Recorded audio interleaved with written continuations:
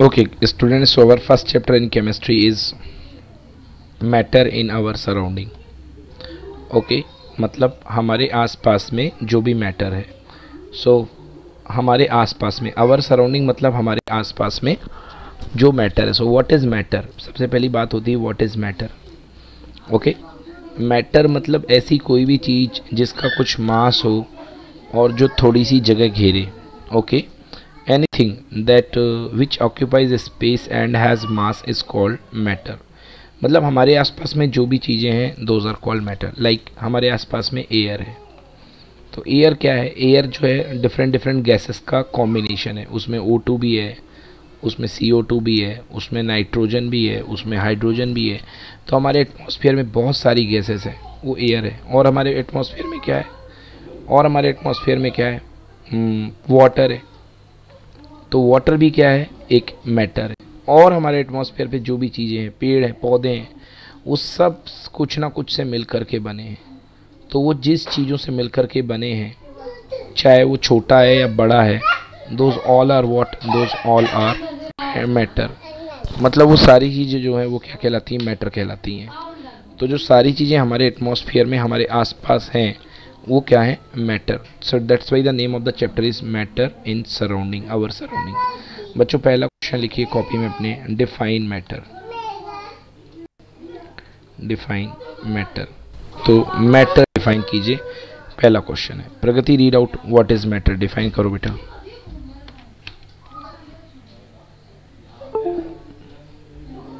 Pragati?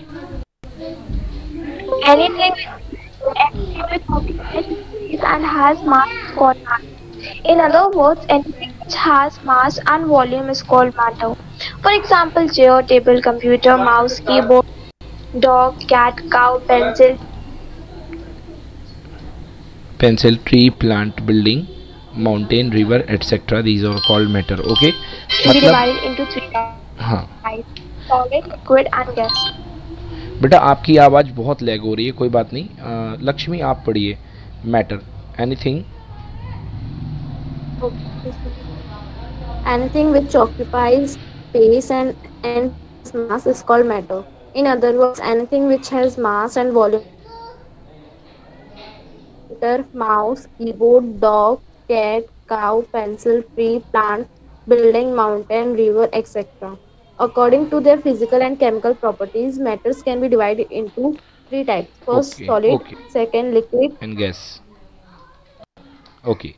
So guys, what is matter? Anything which occupies space ऐसी कोई भी चीज़ जो कि थोड़ा सा स्पेस घेरती है, जो जगह घेरती है एंड हैज़ अ मास और जिसके पास थोड़ा सा मास होता है that thing is called matter वो हर एक चीज़ जो होती है, वो मैटर कहलाती है. In other words anything which has mass and volume is called matter दूसरे शब्दों में, ऐसी कोई भी चीज़ जिसके पास मास है और वॉल्यूम है, उसको आप क्या बोलते हैं? Matter anything which has mass and volume is called a matter मतलब ऐसी कोई भी चीज़ जिसके पास मास है और वॉल्यूम है, उसको हम मैटर बोलते हैं।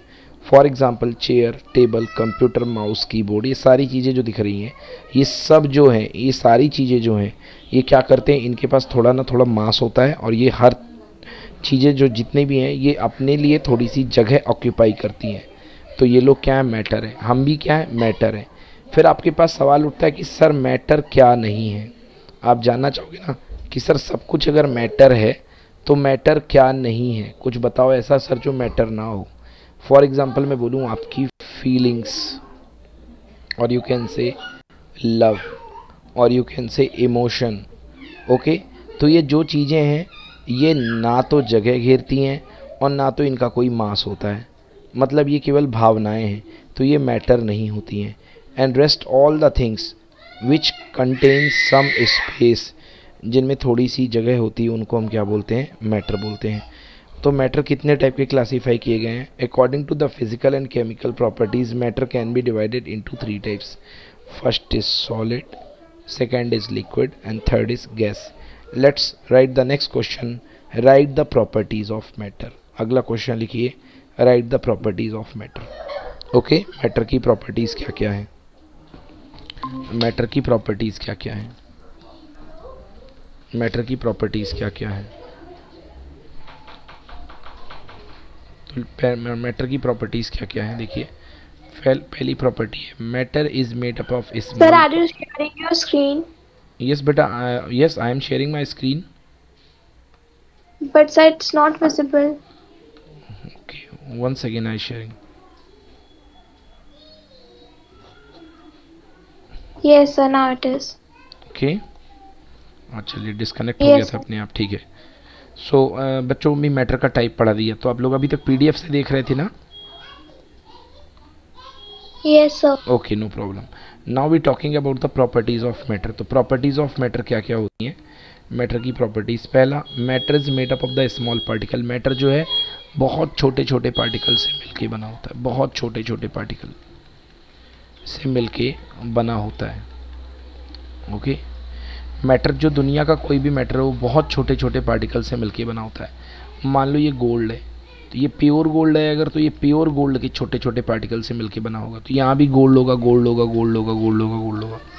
तो ये क्या होंगे? ये गोल्ड के एलिमेंट होंगे। ये छोटे छोटे जो होंगे, ये गोल्ड के एलिमेंट होंगे। क्योंकि गोल्ड क्या है? प्योर है। बट अगर वाटर है तो वाटर छोटे छोटे पार्टिकल से मिलके बना होगा। और वो छोटे छोटे पार्टिकल अपने आप में भी वाटर होंगे। तो वो वाटर के क्या होंगे? वो वाटर के मॉलिकुल्स होंगे या वाटर के कंपाउंड होंगे। ये देखिए, ये वाटर है। तो वाटर छोटे छोटे पार्टिकल से मिलके बना होता है। अब गोल्ड के जो मैटर होगा, वो अलग होगा और वाटर का मैटर अलग होगा, क्योंकि गोल्ड का मैटर सॉलिड होगा और वाटर का मैटर लिक्विड होगा, क्योंकि गोल्ड जो बना हुआ है, पूरे सॉलिड सॉलिड सॉलिड से मिलके बना हुआ है। तो गोल्ड के एलिमेंट पूरे सॉलिड होंगे। और जो वाटर के एलिमेंट है, वो लिक्विड लिक्विड लिक्विड से मिलकर बने हुए so the element of the water will be a liquid now second point पढ़ो बेटा, Pragati. These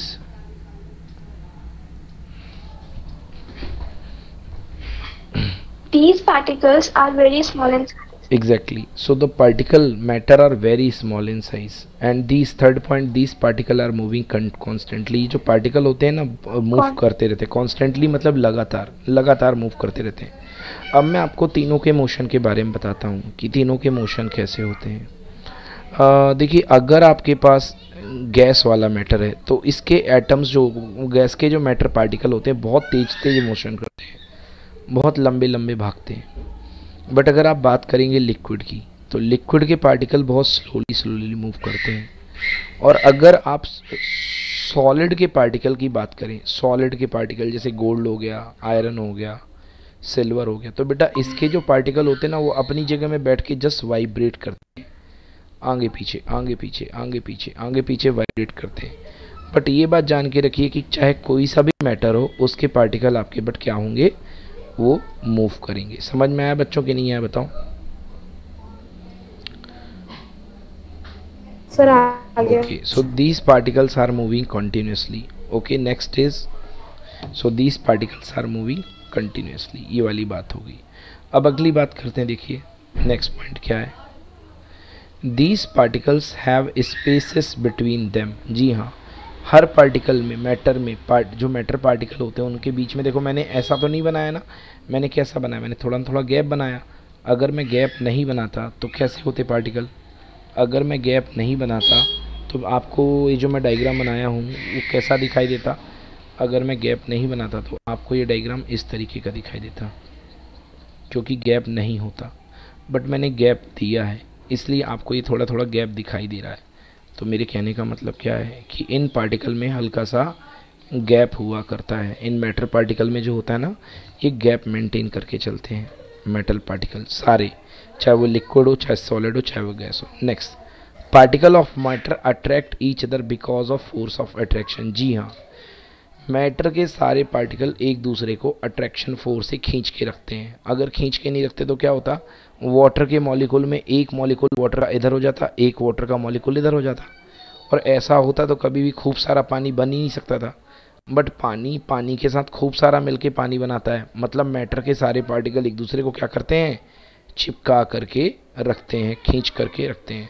So particle of the matter attract each other because of force of attraction बोलो, समझ में आया बच्चों? So Some... could you explain it again? I was disconnected. Okay. So the particle of the matter attract each other because of force of attraction जो matter के particle होते हैं वो एक दूसरे को फोर्स ऑफ़ अट्रैक्शन की वजह से एक दूसरे से अटैच रहते हैं एक दूसरे से बंधे रहते हैं जैसे एग्ज़ाम्पल के लिए आप गोल्ड लेने जाते हो तो गोल्ड आपको किस फॉर्म में मिलता है पाउडर में तो मिलता नहीं ना है ना? आप गोल्ड लेने जाते हो आयरन लेने जाते हो आपको क्या मिलता है? एक पूरा का पूरा गोल्ड बार मिलता है या आयरन का बार मिलता है? तो क्या होता है? वो बार क्यों बना होता है? बिकॉज़ गोल्ड के पार्टिकल एक दूसरे को आपस में वेल well, अच्छे से फोर्स लगा के एक दूसरे के साथ ज्वाइंट रहते हैं। एक दूसरे के साथ वो कनेक्ट रहते हैं। Because of force because of interatomic force okay so particle of matter attract each other because of force of attraction समझ में आ गया बच्चों? बोलो समझ में आया कि नहीं आया? हेलो क्लियर प्रगति क्लियर कि not clear okay okay now we talking about experiment some experiments are there example first experiment of pollen grains okay pollen grains देखिए experiment of pollen grains if we suspended extremely small pollen grains in water and see through microscope we found that the tiny particle of the water do not uh, of the vertical do collisions with the pollen grains due to these collisions pollen grains move slightly ये experiment बताया गया है कि अगर आप uh, जो है अगर आप पॉलन ग्रेन्स आप लोग जानते हो क्या होता है कि नहीं जानते बताओ Yes, sir. हाँ तो अगर आप पॉलन ग्रेन्स को अगर पानी की सरफेस के ऊपर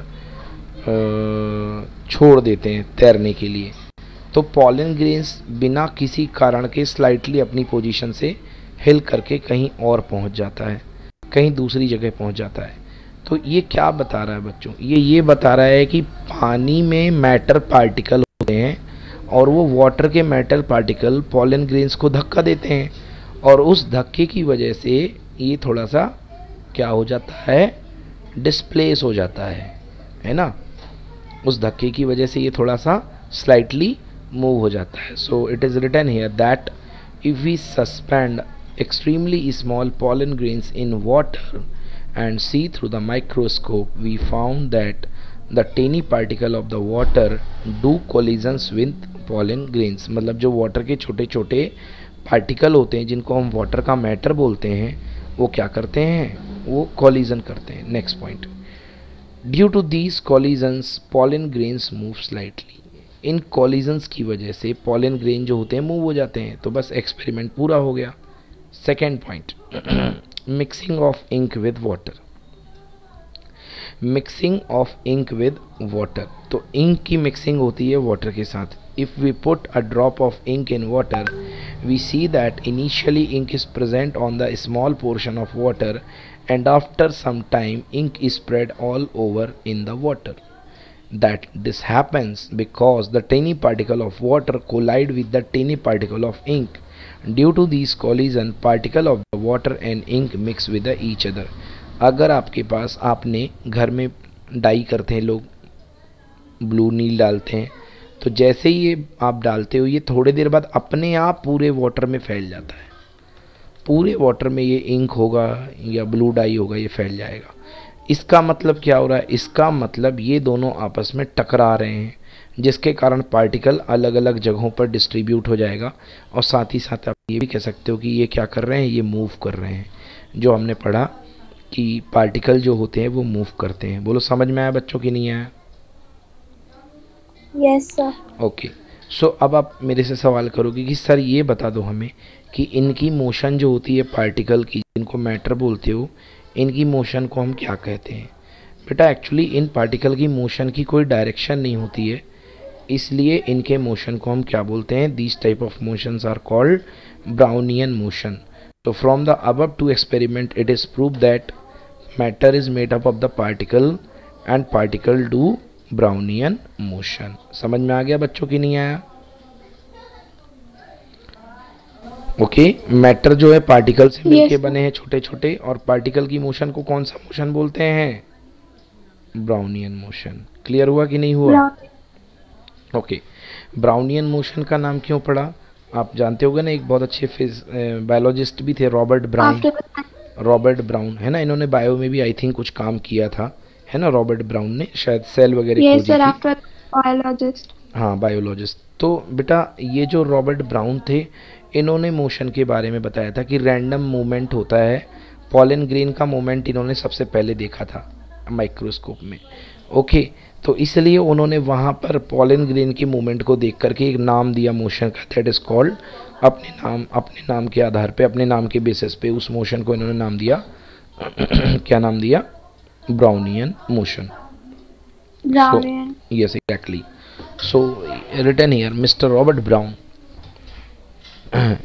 Mr. Robert Brown is uh, a Scottish botanist. ओके जो रॉबर्ट ब्राउन थे, वो बॉटनिस्ट थे mister Robert Brown a Scottish botanist Scottish botanist observed the random movement of the pollen grains in water in 1827 में इन्होंने water में इसका pollen grains का मोशन देखा।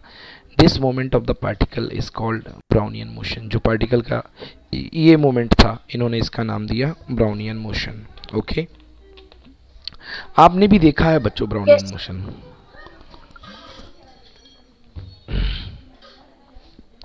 आप सभी ने तकरीबन ब्राउनियन मोशन देखा है। कहाँ देखा है? आपने देखा होगा बच्चों कि जब कभी घर में आप जो है आपके घर में मान लो किसी सुराख से या किसी स्लाइड से अंधेरा कमरा है या कभी खिड़की थोड़ा सा खुली हुई है तो देखा होगा लाइट आती है लाइट आती है। और उस लाइट में आपको देखा होगा डस्ट पार्टिकल मूव करते दिखाई देते हैं। कोई यहाँ जा रहा होता है, कोई वहाँ जा रहा होता है। फिर आप क्या करते हो? फिर आप उसको मार देते हो डस्ट पार्टिकल को कुछ छीन लेते हो और उनको ज़ोर से डिस्टर्ब कर देते हो। तो फिर देखोगे वो मोशन बढ़ जाती है, बड़ी रैंडम रैपिड मोशन हो जाती है उल्टे पुल्टे और तेज़ी से भागने लगते हैं। पहले तो भाग ही रहते बेचारे और कभी देखा आप लोगों ने? नहीं कि नहीं देखा? बताओ बच्चों। बोलो। यस हाँ। सर देखा है। हाँ तो वो जो मोशन होता है that is called Brownian motion so example dust moves randomly because of the random moving particle of air collide with dust particle yes तो डस्ट क्यों मूव करते हैं? डस्ट क्यों मूव करते हैं? देखिए डस्ट में क्या होता है? डस्ट किसमें मूव करती है? यहाँ से मान लो लाइट आ रही है। तो यहाँ पर आपको डस्ट दिखाई देगी इतने एरिया में। तो इतने एरिया में किसके किसके पार्टिकल हैं? एक तो एयर के पार्टिकल हैं जिसमें डिफरेंट डिफरेंट गैसेस हैं और एक तो डस्ट के पार्टिकल हैं। तो क्या होता है बच्चों की एयर के पार्टिकल लगातार डस्ट के पार्टिकल से टकराते हैं और और उस टकराने के कारण वो कंटिन्यूसली मोशन करते रहते हैं। तो क्या कह रहा हूँ मैं? कि डस्ट के पार्टिकल एयर के पार्टिकल से लगातार टकराते रहते हैं। और टकराने के रिज़ल्ट में वो क्या करते रहते हैं? मोशन करते रहते हैं। तो यहाँ पे लिखा है similarly smoke also moves randomly because of the random moving particle of air collide with the smoke particle again and again. Okay done. बच्चों क्लियर आ गया बाउंड ब्राउनियन मोशन यस ओके अब इस ब्राउनियन मोशन का एक बहुत बड़ा फ़ायदा है बच्चों। इस ब्राउनियन मोशन की वजह से एक बहुत बड़ा फ़ायदा है। आपने घर में कभी कमरे में अगरबत्ती लगाई हो? तो एक कमरे में आप अगरबत्ती लगाते हैं और उसकी खुशबू पूरी बिल्डिंग में सुंघाई देती है या बाहर वाले कमरे तक बड़े आराम से उसकी स्मेल आती है। बोलो बच्चों आती कि नहीं आती?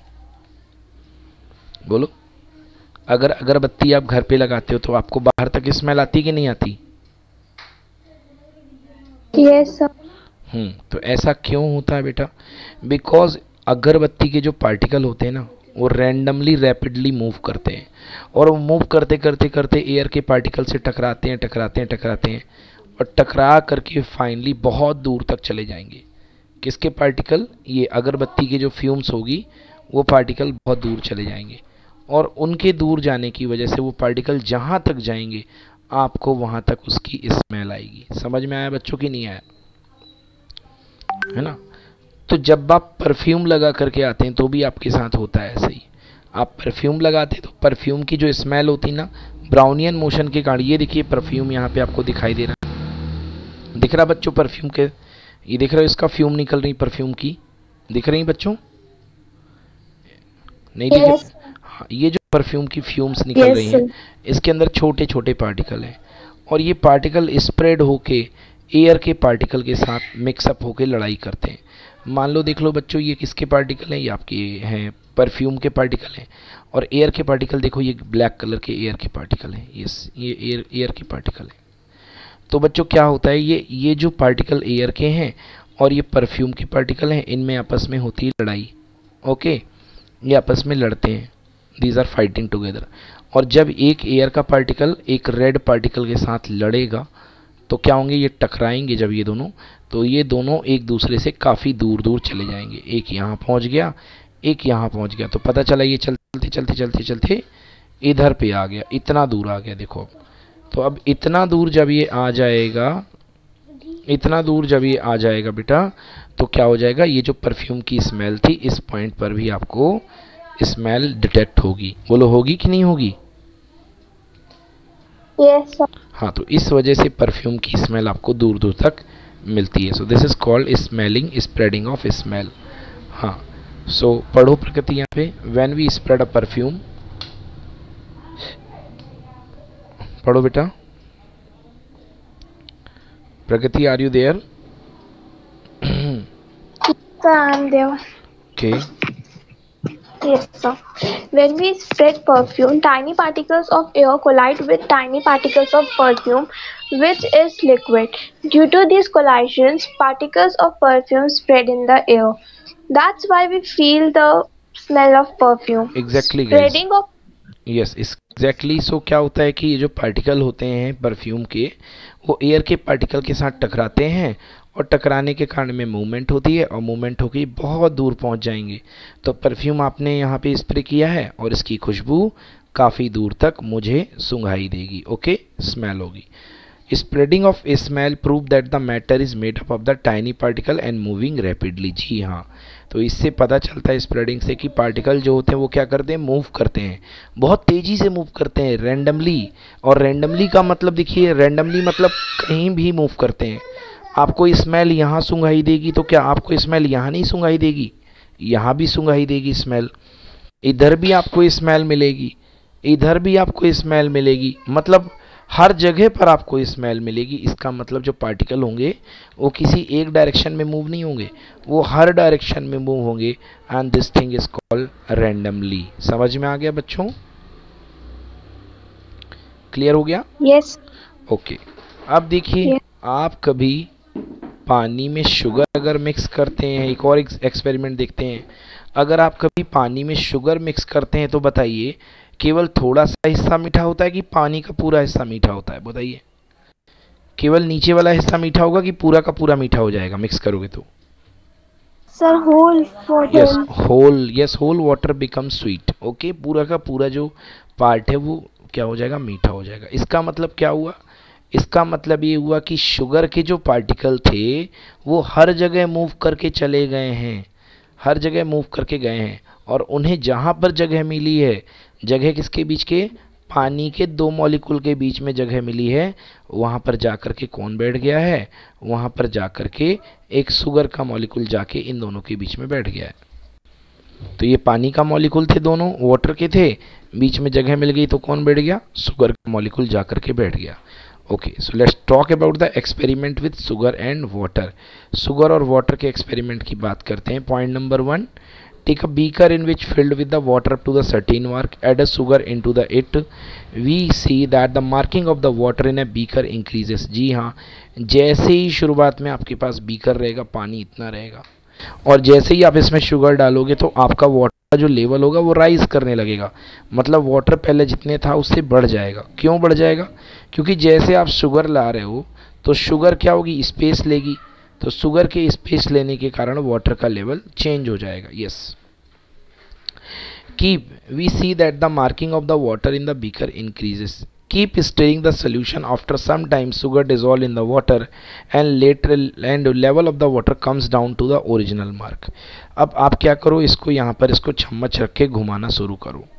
वाटर को स्टेर करना शुरू करो, है ना? जैसे आप बॉर्नवीटा डाल करके घुमाते हो ना तो आप क्या करो, यहाँ पे चम्मच डाल करके इसको स्टर करना शुरू करो।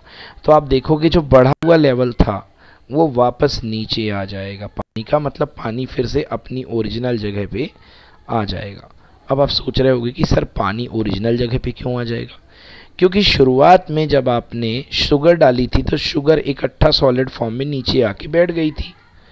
और उसने अपना स्पेस ले लिया था और पानी को ऊपर फेंक दिया था, बाहर फेंक दिया था। बट जब आप शुगर को घोलना शुरू करते हो तो शुगर जो होती है, घुलने के बाद कहाँ बैठ जाती है? जो वाटर के मॉलिक्यूल के बीच में स्पेसिंग होती है, उसमें जा कर के शुगर बैठ जाती है। उसमें जा कर के शुगर स्पेसिंग के बीच में बैठ जाती है।